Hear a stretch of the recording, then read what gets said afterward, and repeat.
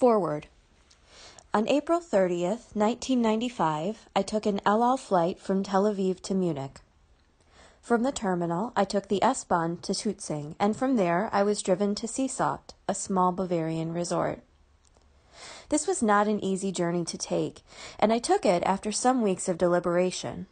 I was going back to Germany, 50 years later.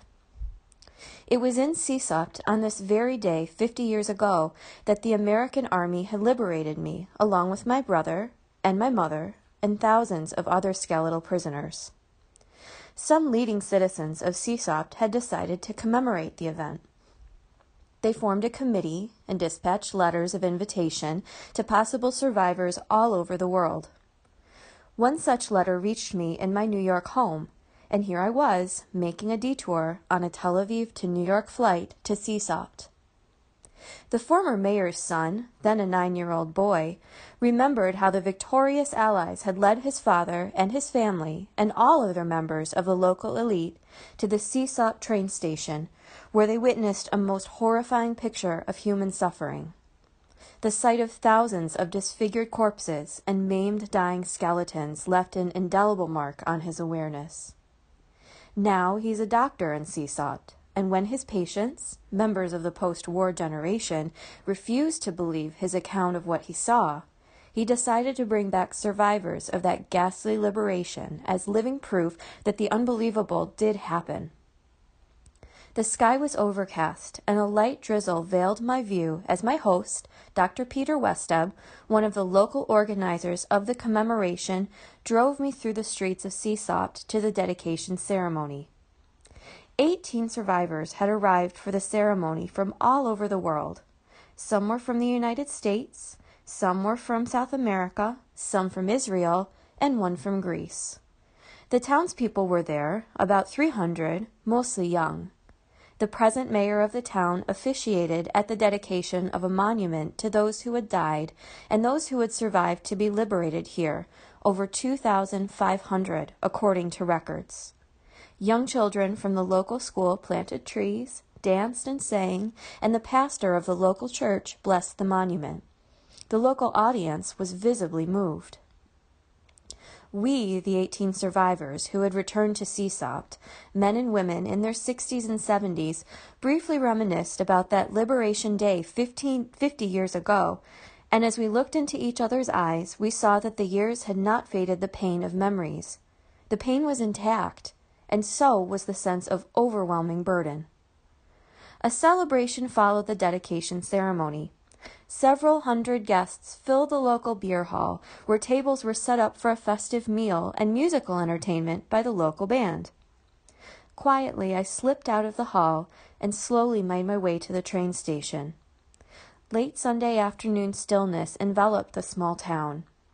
I walked along the tracks to the colorless, deserted, memorable platform. No trains, no passengers anywhere, total emptiness only an incessant light drizzle. But for me, the platform was full. It was brimming with a disarray of sights, hundreds upon hundreds, a bleeding carpet of dead and dying. I saw Greco, the fifteen year old Greek boy with enormous, feverish eyes, begging for water. I saw Lily, the sixteen year old brunette, with her leg blown off, sitting in a pool of blood. I heard Martha, blinded in both eyes, calling to her mother, and Beth, and Irene. Ageless faces, skeletal limbs filled the gray, translucent mist. There are no more trains today. I turned around, startled. The woman with the unmistakably Bavarian accent had a pleasant, nondescript face. There are no more trains today from this station. Thank you. I'm not waiting for a train. She waited, wondering. Then, with a hint of suspicion lingering in her manner, she reluctantly walked on. But the moment was gone. The half century old visions were no longer retrievable onto the screen of my present reality. A cold, opaque haze enveloped the tracks. The platform and the grim two story station house were empty. I walked back to the beer hall where the celebration was winding down. What message do you have for us? One of the committee members asked me. What lessons? I pondered the question. I was 14 when the war ended and believed that the evil of the Holocaust was defeated along with the forces that brought it about. Six years later, a new life began for me in the new world. A new life free of threat. A new world full of hope.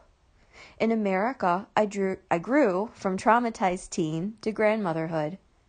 And as the world grew more and more advanced technologically, it seemed to grow more and more tolerant of terror and human suffering. My fears have returned, and yet my hope, my dream of a world free of human cruelty and violence has not vanished. My hope is that learning about past futures, evil, will help us to avoid them in the future. My hope is that learning what horrors can result from prejudice and intolerance, we can cultivate a commitment to fight prejudice and intolerance. It is for this reason that I wrote my recollections of the horror. Only one who was there can truly tell the tale, and I was there. For you, the third generation, the Holocaust has slipped into the realm of history or legend, or into the realm of sensational objects on the silver screen. Reading my personal account, I believe you will feel, you will know, that the Holocaust was neither a legend nor Hollywood fiction, but a lesson for the future. A lesson to help future generations prevent the causes of the 20th century catastrophe from being transmitted into the 21st. My stories are of gas chambers, shootings, electrified fences, torture, scorching sun, mental abuse, and constant threat of death but they are also stories of faith, hope, triumph, and love. They are stories of perseverance, loyalty, courage in the face of overwhelming odds, and of never giving up. My story